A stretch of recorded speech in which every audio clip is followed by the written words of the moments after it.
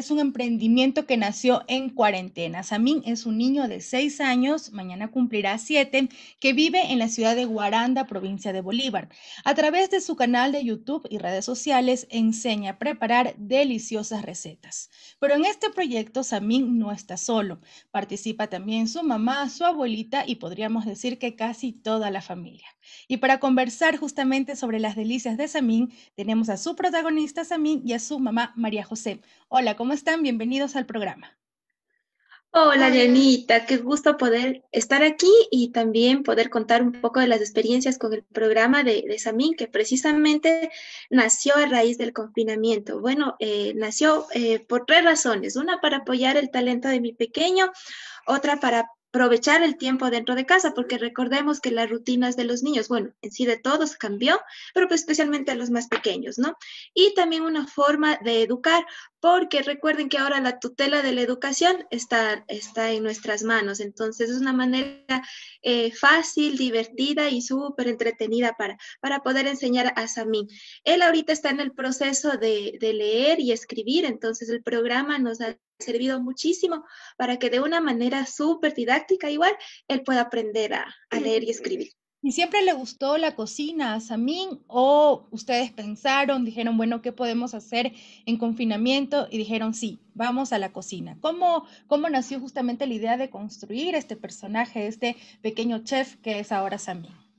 Ya, Samín le gusta la cocina desde muy pequeño. Hablemos de eso de los cuatro años. Él comenzó haciendo galletitas. Bueno, conmigo siempre decía, mamita, vamos a hacer galletas, vamos a hacer doritos o vamos a hacer una torta. Entonces, ya estando en la cocina, que nosotros le llamamos el laboratorio del amor, ahí comenzó todo. Entonces, él, yo solo le facilitaba los ingredientes y le, le prendía el horno y él comenzaba con sus pequeñas manitos a batir los huevos, la harina, la mantequilla, el azúcar, bueno, y todo lo que conlleva la preparación de una torta, ¿no? Entonces él, él decía, mamita, por favor, ponme en YouTube cómo puedo hacer una torta de zanahoria, cómo puedo hacer una torta de guineo.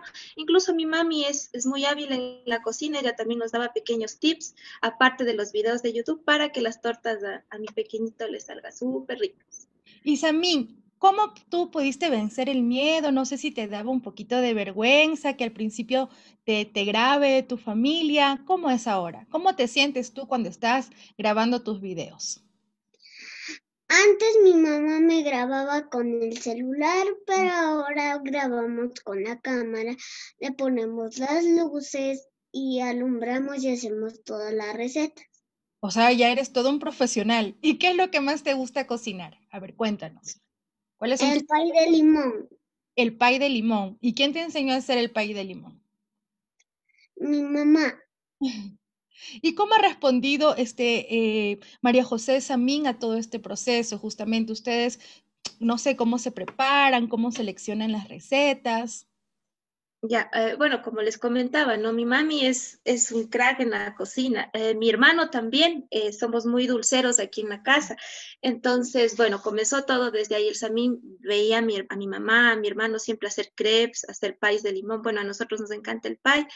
Entonces, el Samín se, cree, eh, se está criando con ese modelo, ¿no? También una manera para romper estereotipos, porque dicen que, los, que las mujercitas más a la cocina y más no los hombres. Entonces, como mi hermano siempre está en, en, esta dinámica en la cocina, entonces a mi hijo también le encantó eh, la idea de estar constantemente. Bueno, las recetas, la mayoría de recetas uh, han sido ideadas también por mi mamá. Pensamos, eh, bueno, tenemos un cronograma semanal porque cada domingo sale un programa, entonces estudiamos mucho con Samín la receta o él también ve algunas recetas que le gustan en internet, entonces él comienza a ver y a aprenderse y él me dice también los ingredientes que necesitamos y yo voy a ver en el, en el supermercado o en la tiendita del barrio, bueno, como sea, y, y vamos a adquirir eso y, vamos, y hacemos el, el, el, el, postre que es para, la, para cada domingo. Grabamos todos los jueves. Samín, ¿y a ti quién te hace esos trajes? Porque yo vi todos tus videos y tú tienes trajes, pero hermosos, envidiables. ¿De dónde salen los trajes que tú usas? De mi abuelita, Mami Cookie. La Mami Cookie te los hace. ¿Y cuál ha sido tu, mm, el preferido, el que más te gusta utilizar y por qué? Un amarillo que tiene por aquí dentro. Esta parte es amarillo y esta parte es blanca. Esa me gustó a mí. ¿Y a ti por qué es divertido para ti hacer estos videos, tener tu canal? ¿Qué es lo que más te gusta de tener las delicias de Samín? Me gusta porque yo aprendí de cuatro años a cocinar. ¿Ya? ¿Ya estabas ahí en la cocina? Sí, primero cociné una torta de manzana, luego el pay de limón, luego un mousse de maracuyá y todas esas recetas que hice yo.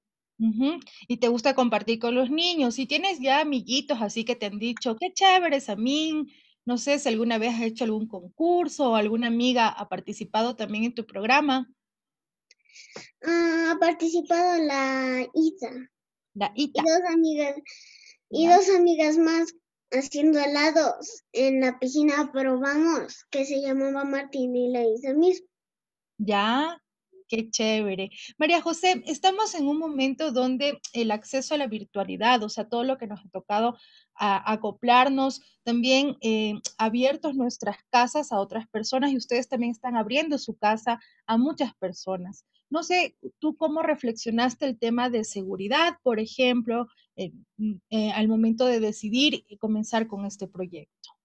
Claro, sí, es bastante, es muy complicado, ¿no? Precisamente porque ahora es tan, tan tan, tan duro para los niños también exponerles, ¿no? Pero bueno, el canal, el, como decía igual al, principio, el, uno de los objetivos que nosotros perseguimos es educar, porque ahora también los niños están eh, sometidos mucho a, la, a, los juegos de video y a veces los papás no tienen control, ¿no? Porque hacen teletrabajo, porque ahora ya les toca salir a trabajar. Entonces también por, por ahí va la, idea del programa del SAMIN, ¿no? De alguna manera que él coja conciencia del uso de la tecnología, que no solo puede ser para videojuegos, no solo puede ser para, para videos, los famosos TikTok, sino también para utilizar de una manera para, aprender, para educar al público eh, con los talentos que tienen los guaguas. También ya nos decía que eh, su abuelita participa como la confeccionista, la diseñadora de todos sus trajes.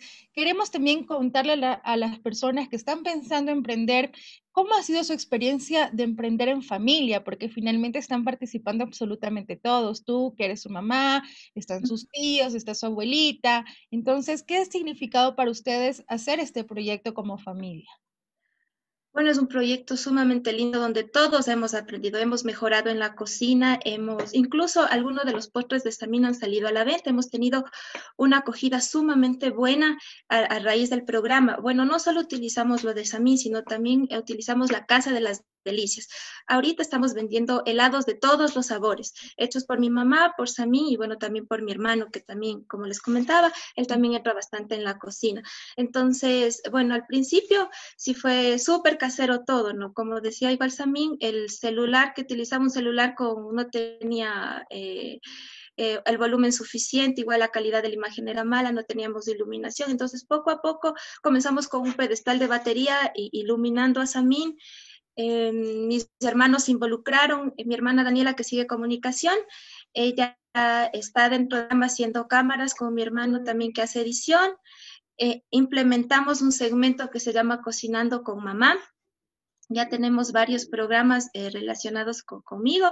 Este último programa que hicimos fue de la colada morada, entonces donde no solo se están integrando los miembros de la familia, sino también, bueno, mis abuelitos, mis tíos que también apoyan este emprendimiento también están integrando tradiciones, ¿no? Rescatar los sabores tradicionales del país. Sí, estamos dando eh, un realce bastante importante a lo que son los postres ecuatorianos y hemos hecho, bueno, también ha hecho la espumilla, el helado de paila, que es de Ibarra, eh, la colada morada eh, con los pasos de mi abuelita, porque bueno, hay múltiples maneras de preparar la colada morada, pero el de mi abuelita nos parece súper espectacular, aparte como dejar un legado de amor, ¿no? plasmado en, en, en videos. Y también para ti es fácil aprenderte las recetas, aprender todo lo que tienes que decir. ¿Si te aprendes fácilmente o te cuesta un poquito? Ah, sí me aprendo varias, pero algunas veces no. y te toca repetir varias veces. ¿Te divierte mucho? Pero algunas son chistosas. ¿Por ejemplo? Mm, por ejemplo, también son chistosos, también nos hace reír en la en mi segunda receta, justo cuando íbamos a grabar la colada morada, el de la torta de banana. ahí mm, estaba muy emocionado por grabar, hasta me reía mucho. Ya, y no podías parar de reír. Dentro del, del programa, lo que como ya se siguió, eh, bueno, mejorando la calidad y todo, implementamos los bloopers. Entonces, bueno, las cámaras cuando también se equivoca o cuando le da mucha risa. Entonces, eso nos pareció bonito también implementar dentro del programa y sí, también hemos tenido bastante aceptación. La gente dice, qué bonito que hagan esto con, con. Incluso hay una guagua aquí en, en Guaranda que le gusta hacer manualidades. La, la, mamá se me comunicó conmigo un día y me dijo, Majo, gracias por darnos ese impulso porque mi hijita también le encanta este tipo de cosas y ahora también ella tiene, tiene un, un programa de YouTube donde enseña manualidades a los niños. Entonces hemos sido también como un referente, como inspirador para muchas mamás para que puedan apoyar a sus hijitos y puedan aprovechar el tiempo dentro de la casa. Claro, o sea, de esta forma es que nos demuestran que es posible, como tú bien lo decías, utilizar la tecnología para otros fines, porque es indudable, los niños están conectados, las mismas clases virtuales ya los someten a que estén conectados a, todas estas redes, entonces, y allí encuentran diversión y también pueden encontrar educación. Samín, ¿a ti qué te gustaría? No sé, ¿cuáles son tus sueños? ¿Qué quieres ser cuando crezcas? Ah, mi sueño es hacer chef. Quieres ser chef, o sea, quieres especializarte en la cocina. Ya, muy bien. ¿Y quisieras tener tu restaurante o quieres seguir con tus programas? Quiero seguir con mis programas. Ok, ¿y qué le dirías a los niños? O sea, ¿tú cómo pasaste cuando no podíamos salir para nada de casa y comenzaste a hacer estos programas? ¿Cómo te sentiste? ¿Qué le puedes contar a todos los que nos están escuchando? Me sentí muy mal, que yo pensé que los niños iban a enfermar, toditos. Ok, ok, y hacer el programa te dio un poco de alegría, o sea, como que te llevó a pensar en cosas más positivas. Ujú. Muy bien, ¿qué les aconsejas a los niños que también pueden estar escuchándote y los que te ven todas las semanas? Les aconsejo que también me que les aconsejo que no salgan de casa, que se queden ahí, que siempre cuando salgan de casa se pongan mascarilla o esos tapa que tapan la cara, los Protectores. también pueden ponerse. ok. ¿Cómo están ustedes también vinculando con ya el proceso educativo? Ya como, como madre, eh, ¿tú qué te has dado cuenta de la importancia ahora que, como has dicho, la tutela e incluso la educación de los niños recae más eh, sobre los padres o las personas que están a su cuidado? Mm, Bueno, quiero hacerme referencia eh, para contestar la pregunta. Eh, hubo un amigo, Matías Dávila, eh, que le escribió al Samín un- una nota muy bonita. Se refería a él y al efecto Pigmalión. El efecto Pigmalión que no era otra cosa de decirle a alguien lo bien que está haciendo esa cosa, ¿no? Y si todos los días alimentamos esa idea, sí puedes, dale, con disciplina, constancia y amor, los niños llegarán muy lejos. Entonces, esa ha sido eh, también nuestra filosofía, ¿no?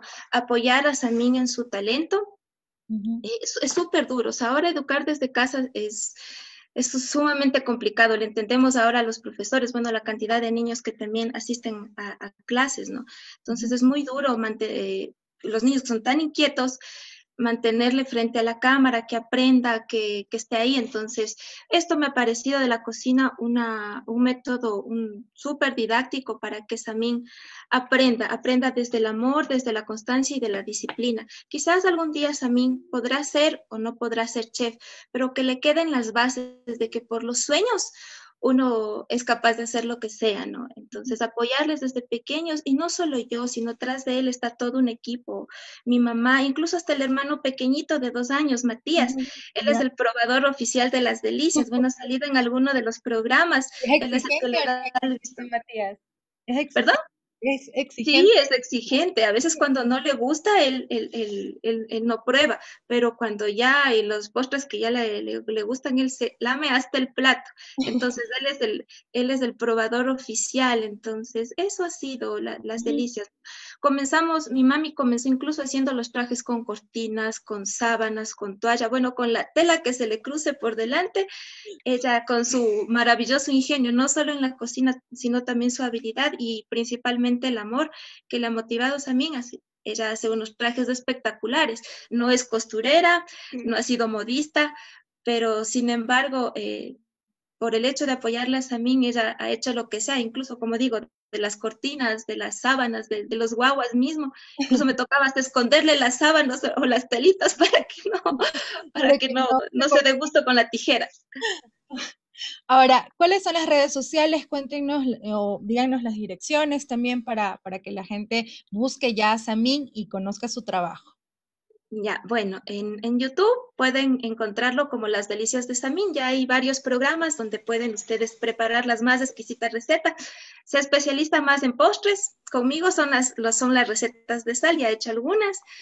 Eh, bueno, en YouTube como Las Delicias de Samín. En Facebook también le pueden encontrar como Las Delicias de Samín. Ahí también se postea todo lo que es la historia de Samín, cómo empezamos, la galería de fotos. Igual en Instagram le pueden encontrar como Las Delicias de puntos a mí. Ok, y si usted vive en Guaranda o si está de pasito por Guaranda, ya sabe que puede probar los deliciosos helados. ¿En qué barrio están en Guaranda? Estamos en la Ciudadela Las Colinas, estamos cerca del complejo Galo Miño Jardín, eh, pero como referencia es del UPC. Entonces nos pueden visitar incluso para que, para que, le miren a Samín como, como es experto en la cocina. Eh, para que también vean los trajes. Hay algunos niñitos que sí nos han escrito eh, que quieren los trajes de Samín. Entonces, bueno, también vamos a ver si comenzamos un emprendimiento ahí también, incluso unos cursos con mi mamá para que les enseñen, enseñe también a hacer los trajes, ¿no? Perfecto, gracias. Quiero agradecerte, Samín, y felicitarte también porque de verdad hemos visto tus videos y nos gusta mucho. Sigue así y tienes el apoyo de toda tu familia. Yo siempre les pido al final una canción. ¿Qué canción ustedes seleccionaron para terminar nuestra entrevista? Bueno, tenemos dos canciones. La primera que es de Ratatouille y la segunda que, bueno, es una canción que se llama Walk. Eso es identificativo del, del programa de Samín. Bueno, entonces vamos a ir con esa canción. Gracias a mí, gracias María José. Gracias por el espacio, gracias. Chao. Vamos con la canción entonces que han seleccionado para terminar esta entrevista.